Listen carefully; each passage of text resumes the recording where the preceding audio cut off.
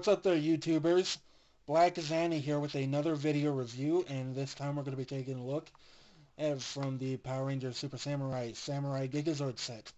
It's the Clawzord, aka Ebi Origami from, from the Samurai Sentai Shinkenger. So, there he is. And of course, uh, well, you don't need to see the box because it's standing right behind him. That's a background, people. So anyway, onto the toy itself.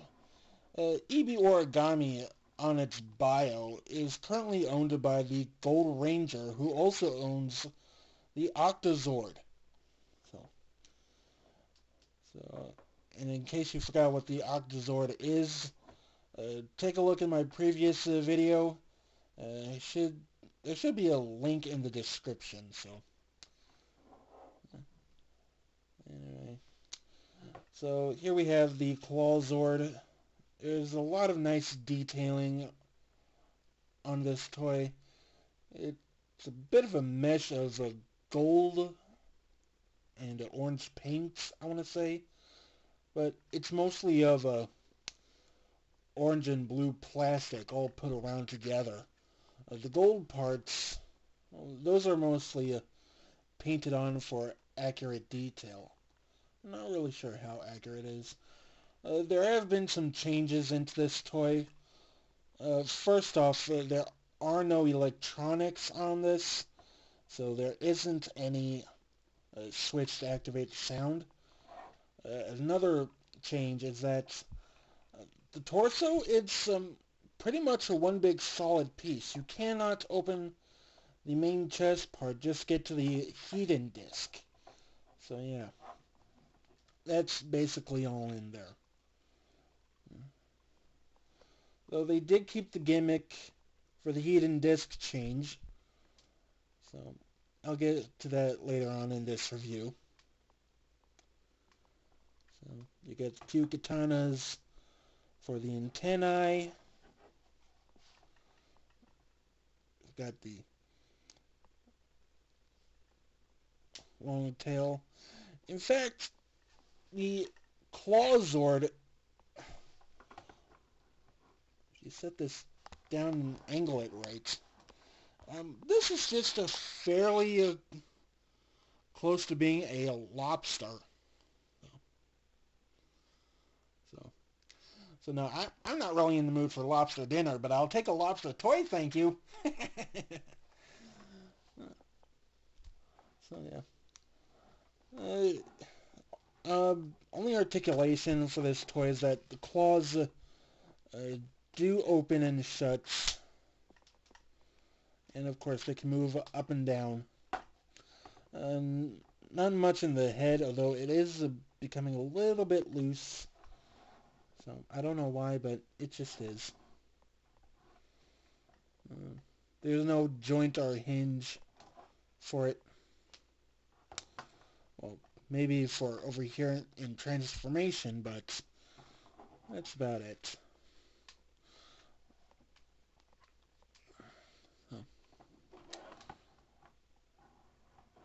And of course, while it's in its uh, Zord mode like this, I want to point out that since the hinge was taken out to, to make this more of a solid piece, I want to say. Uh, Bandai America added in these two uh, posts uh, for the Gold Ranger to ride on. Uh, just uh, how he rides on the uh, Octozord. So yeah. And again, I do not have the Ranger, just the Zord. So. No Rangers in this, people. Come on. I only got the Zords, and not the Rangers to go with them. I don't want to be hearing any complaints.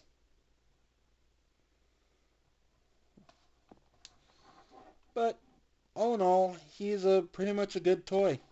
Yeah. Very nice.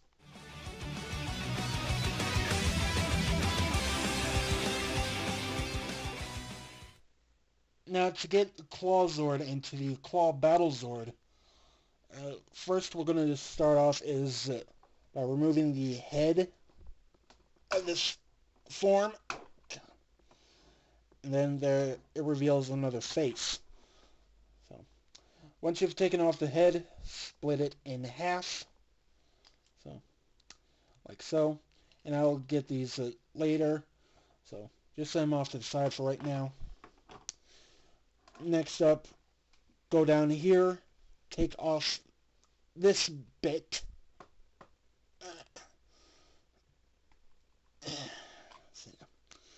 So yeah, this was uh, held in by, from these two holes over here, by these two posts.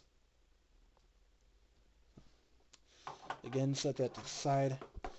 Uh, strain out the legs and split them in half. Uh, turn them about 90 degrees straight. Oh, I'm sorry. That That's the wrong side. It's supposed to go like this. My fault. Uh, next up, I'm going to turn the feet around on both. Once you got that done, hey, you can stand, no problem. So, go back over here. Show you the back section. Uh, raise up the back legs. And I'm really sorry if these look bent. They've been, well, they haven't been uh, sitting in a good position. So it'll take a while just to get them out, but uh, they should be good. Uh, take the little tail bit and, and as you can see there is a peg and a hole in this that is going to correspond with a peg down here and a little hole up there. I don't know if you can see this. I'll just bring it up real close. It's lighting. See? That hole right there. So once you have these two in hand, plug them right in together. So yeah, that's not going anywhere. Bring the back legs down. Now, my claw Zord while you put these into the back, so you got a peg over here, hole over there, and a hole over here with a peg here. Uh, when these go in correspondingly, uh, I think I'll start off with this one over here. Plugs in real good and nice and firm. Uh, this one on this side does not like to sit properly. So yeah, it likes to go whoop. Doesn't like to stay put. So what I do here is just I bend the katana parts about halfway of their transformation and always make sure that they look symmetrical. Again, I am one of those people who prefer symmetrical.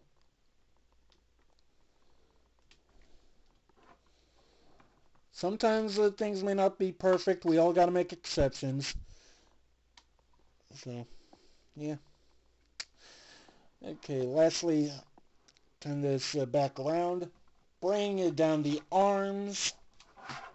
Oh, I don't need you slipping off the table here. And of course, bring up the legs. Uh, not the legs, the claws. I'm so sorry. I don't know why that came out. And lastly, bring down the antennae. Or the front legs, horns, whatever you want to call them. It's pretty much the same thing. And therefore we are done. Now we have a Claw Zord East. So, this is Claw Battle Zord's uh, default mode, if you will. So, it doesn't really much do nothing, but in the show, he does give out a few punches and such. Uh, sometimes, Claw Battle Zord East, or otherwise known as the default, he'll sometimes uh, bring out the claws from his shoulders and use them to attack. his enemies. So. And again, he is controlled by the Gold Ranger, so, and no one else. He does look nice, especially with his claws out.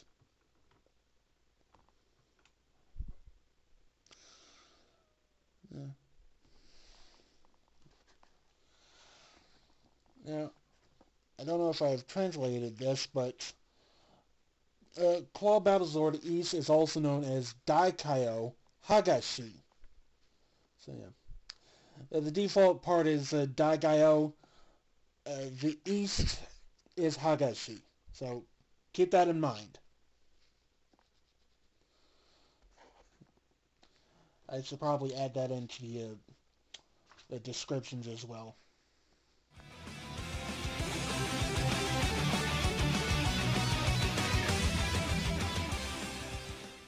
Next up is a Claw Battlezord South.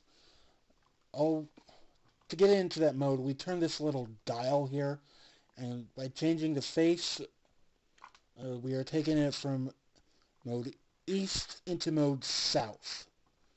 So yeah, this is the second uh, face that you'll be seeing on the Clawzord's uh, hidden disc. Again, it is completely uh, molded in on a hinge. So, so I, I wish I could use a screwdriver just to take it out, but not for this review. Sorry, guys. You see what you get. Next up, we come around just back here. Uh, and take these two uh, lobster head halves that we're going to be using for the katanas and just fold them over completely. So, uh, there's no peg or anything just to keep them like that. Uh, they're on a hinge, and which is pretty much good. So they'll be staying like that. So, same thing on the other. There are the katanas. Come back around here. Raise up the arms. Yeah, which one was... Yeah. You went in there. This one went in there. There. There we go. And there is Claw Battlezord South with his katanas. Now, I don't know if I've mentioned this before, but in each mode that the Claw Battlezord has, uh, as where East has his claws and South has katanas, uh, each of the modes have uh, their respective weapons. So, so when we get to the fourth one, that's going to have a bit of a combination uh, with another Zord owned by the uh, Gold Ranger.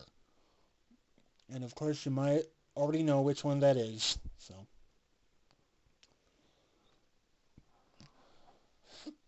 So in this one,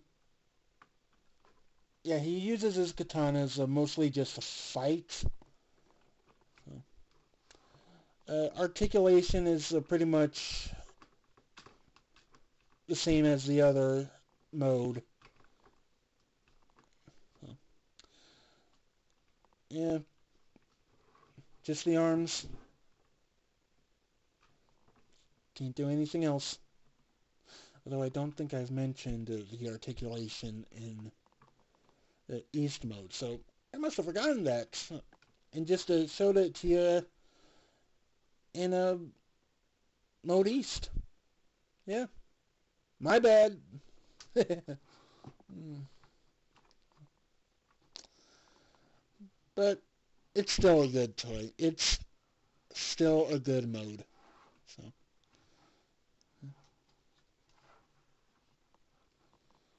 Yeah. It does look cool.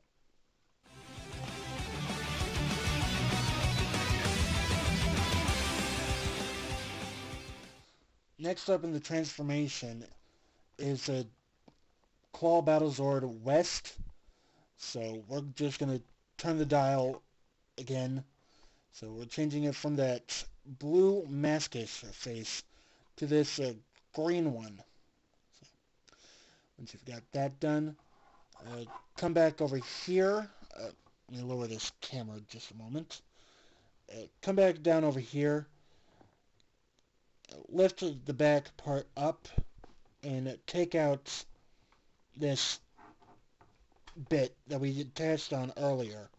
Uh, this is going to be a Claw Battle Zord's West's main weapon because due to the width on this thing, it looks like a big fan. So, put that down for a moment. Uh, next, I'm just going to lower back the legs back into position. And camera back up. Uh, these two horns, we're not going to be needing them, so I'm just going to fold them straight back. And of course, raise the arm, put the hand into the, put the main weapon in to the hand. And there you go. You've got Claw Battlezord West. Now, Claw Battlezord West is actually in the Japanese version, which is uh, Samurai Sentai Shinkenger, uh, Claw Battlezord West is actually Daikai-Oh Nashi. So, uh, Nishi, excuse me. I, I'm terrible with uh, pronunciations uh, today. So, yeah, I'll, I'll probably put that up in the descriptions as well. So, there we go. Now, currently in this mode, he does use his fan. Uh, doesn't fight with it as much. I mean, he has... The fan really doesn't have that much of a finisher. It normally acts as a shield. So, so I don't know why uh, the guys down in Japan thought this will be good as a weapon, but in my opinion, and no offense to anyone out there, it kind of stinks, especially in this mode. So, yeah, I'm going to have to give that points off. I mean, the way he is looks kind of cool, especially for having a fan as a weapon, but what can you do with it? Eh?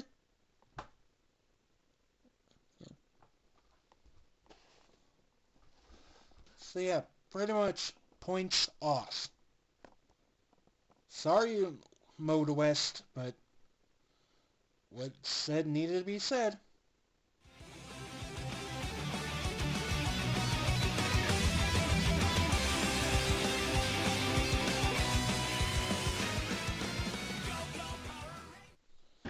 Now for the final mode, and that is a mode north.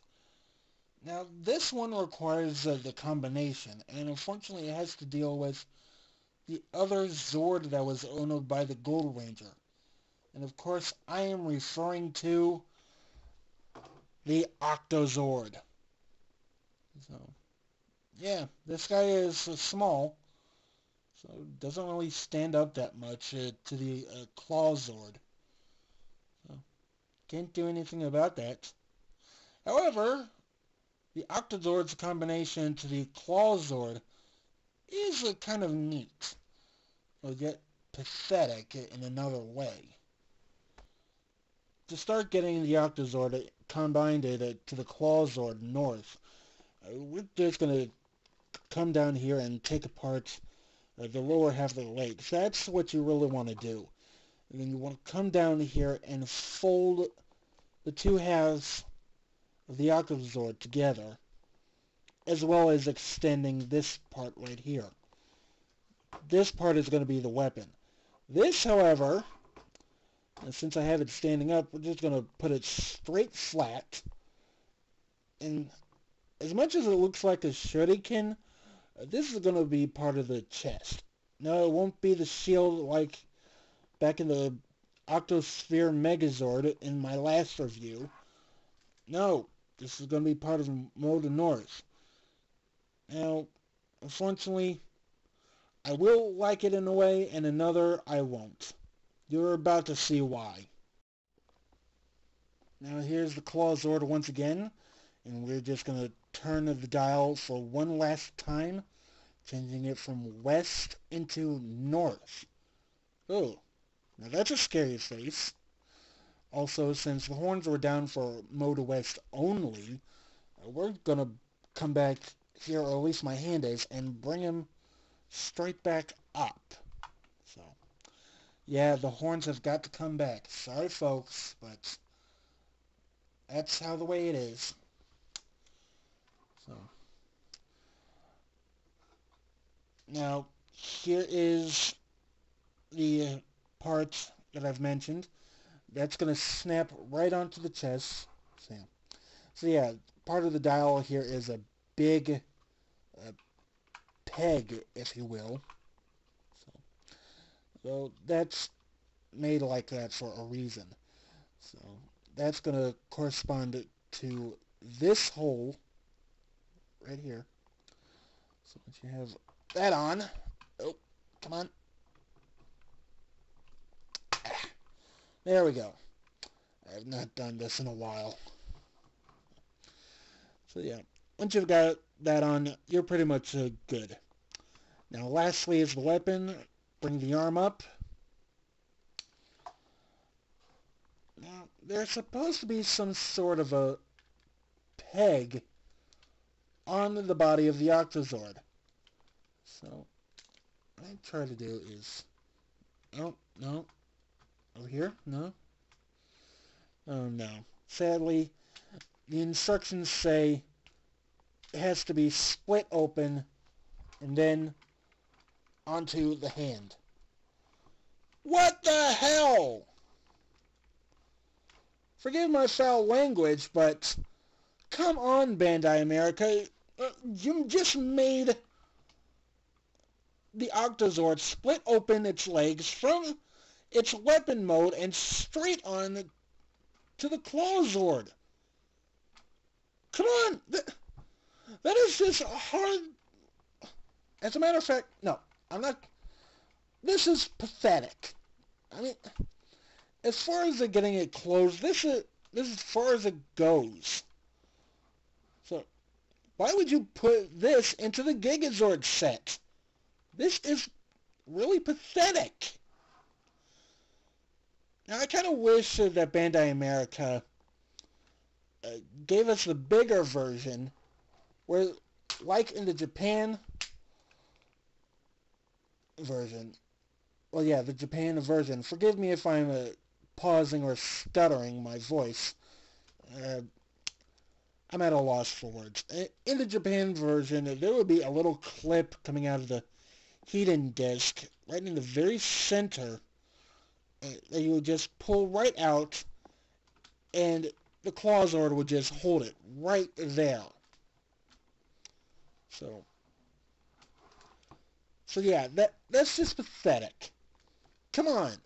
How can the Clawzord, at least it's a North mode, hold on to a toy like that? Well, I do have one solution, but it's not very good. Uh, you, bring down this camera a bit. Just open up this part here. Uh, don't uh, take apart the two sections. Just leave them together like this and try to fit that in carefully. It's not a very good job, but it's at least a start. So, so yeah. There's a Claw Battlezord North. Not a very good Battlezord North, but... Eh... I'll keep my complaints to myself. I think I've already leaked uh, some of it on this video. Oh, not my problem. Oh, wait a minute. Yes, it is. oh, boy. So, out of the four modes that the Clawzord gives for us, I'm going to have to say my favorite one is the default mode. It's out of two reasons. One, it rarely gets changed, which is good. And two, Mode West and North suck, in my opinion. So, I wish that the Octozord was a little bit bigger with the handle, but no, I just don't have that in this version. So,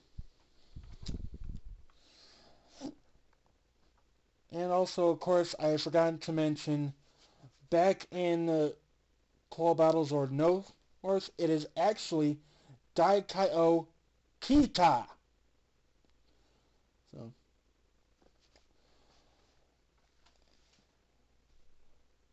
So I think that's about it for this uh, review. So this is the Black Xana saying, Tower is still not deactivated. So yeah, until next time, bye. Now I've got you, you stinking Autobot. Any last words before I blast you? Yeah, just one. Watch where you drop. What are you? Uh-oh.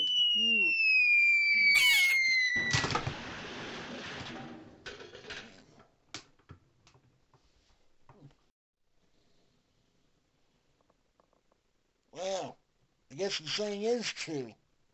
The bigger you are, the harder you fall. Only, you fell even harder.